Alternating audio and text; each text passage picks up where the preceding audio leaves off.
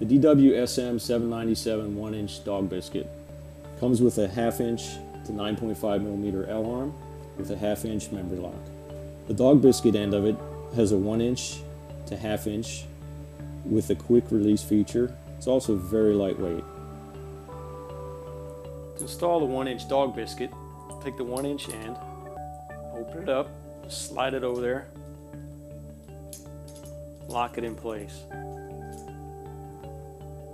Take the L arm, fit it in the 1 inch hole.